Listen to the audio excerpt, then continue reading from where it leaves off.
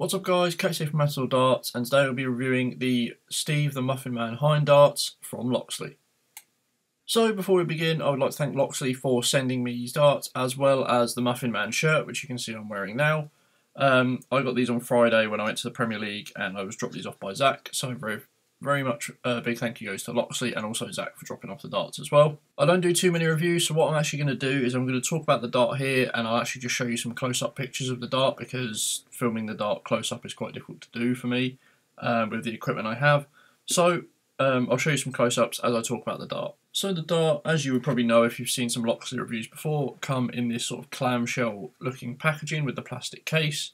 Um, you've got Steve Hine's face on it, just here, and the Loxley logo. And these darts are 23.5 grams, which is uh, Steve Hines match weight. So that's the packet. And then the dart itself comes with a medium length uh, Loxley stem. Uh, it comes with the Muffin Man flights.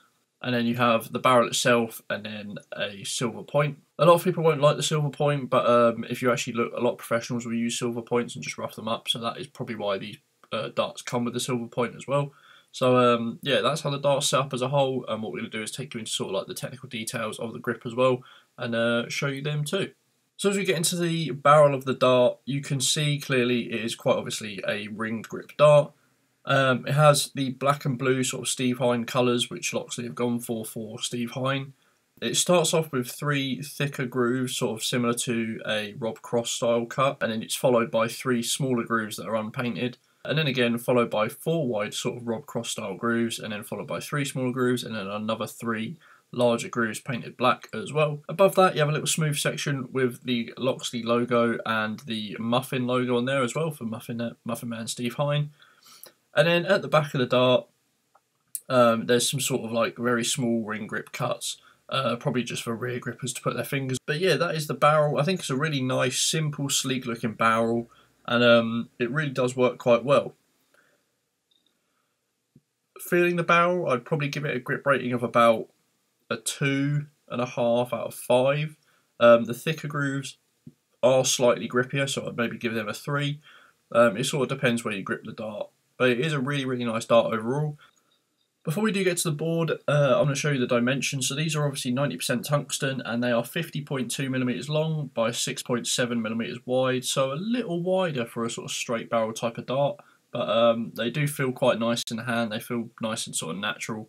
Um, compared to my personal darts, which are 6.2 millimeters wide, so you're gaining sort of half a centimeter um, of width, but they don't feel out of place. They don't feel like a bomber shaped barrel. They do feel uh, like a straight barrel dart, which they are and they sort of feel very natural in the hand as well. So if you like a thicker sort of straight barrel dart, these may be the darts for you.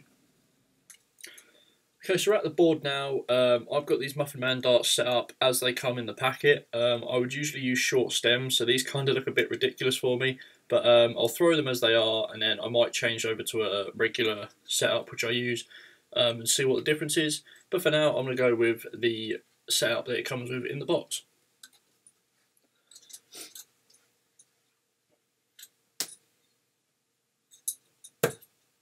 This is my first throw of the day, and it's like uh, eight in the morning. So I'm sorry for any bad darts. Immediately, what I will say is they feel um, ever so slightly less grippy than my match darts, which are the Red Dragon Dragonfly Freeze. Um, they do have a similar sort of width of a ring barrel cut or a ring grip cut. Um, the only difference is um, obviously the smaller rings in between, which give you a bit less grip. Um, if you were to grip specifically uh, on the wider grooves, you'd get more grip, uh, which is what I'm trying to do now.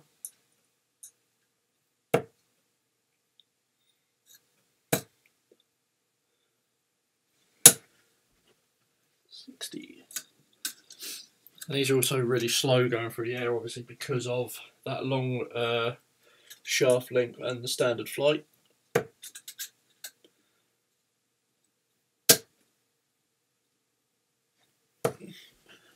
26.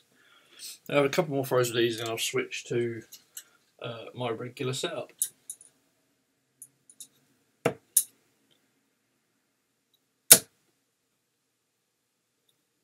Oh, 140.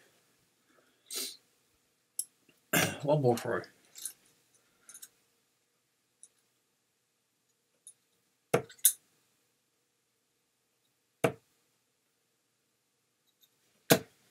One hundred. So as you can see, I'm kind of getting used to them there. Um, I suppose because they are a straight barrel dart, you can just adapt to them really quickly. Uh, but I say they're not too much different to my normal match darts, except they're just slightly longer and slightly thicker. So what we're going to do now is switch to my match sort of setup with the flights and stems, and we'll see how they go. Okay, so we have my match set up, which are the Loxley clear flights and the Loxley short stems. Uh, let's see how they go.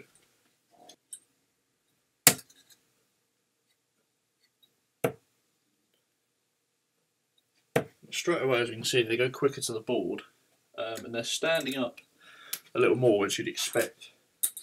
Uh, with shorter flights, because obviously it brings the centre of balance closer to the front end of the barrel.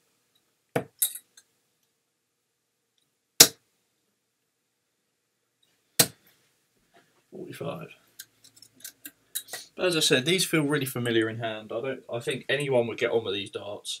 Um, they're a really nice weight, 23.5. It's not too heavy. It's not too light. Oh, treble one. Single one. Single 20, 24. I'll have a couple more throws and we'll go into the summary. Oh. Switch to 19s.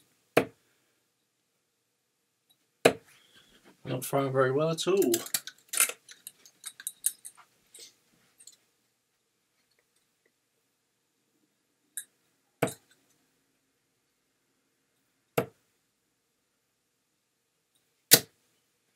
Fifty-five. Okay guys, that's it for the throwing section of this video. We're going to take you into a summary now and give you a little conclusion of what I think of these darts.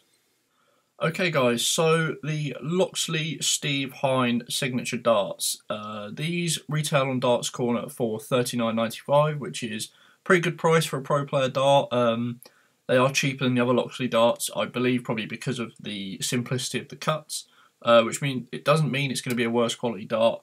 For me, ring gripped in any type of dart, a sort of variation on any type of ring grip is good enough for anyone. Um, as I said, the thicker grooves give you a good amount of grip, uh, and then followed by the thinner grooves. So you do have options there on sort of like where to grip the dart and how much grip you want. Um, I would personally switch to shorter stems because uh, it gives you a really nice sort of like upward angle in the board, um, but not too high so it blocks things off. And yeah, they're just a really nice uh, quality, simple dart that could be used by anyone. They're not too thick, they're not too thin, um, and yeah, they just work really, really well. Really nice sort of set of paint uh, painted rings on them as well, and obviously the flights as well if you'd like to use them. Uh, look pretty cool too. So yeah, guys, that's pretty much it for this review. If you've used the Steve Hine darts, let me know in the comments down below what you think of them. And if you haven't looked at them, be sure to try and check them out on Darts Corner.